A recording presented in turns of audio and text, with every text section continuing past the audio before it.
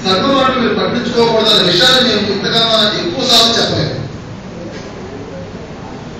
జ్ఞానులుగా ఈ కాంతిలో అత్యంత సాధారణ జీవితాలను అర్థవంతంగా గడుపుతూ చూడండి. జ్ఞానులుగా ఈ కాంతిలో అత్యంత సాధారణ జీవితాన్ని మామూలు జీవితాన్ని అర్థవంతంగా గడుపుతూ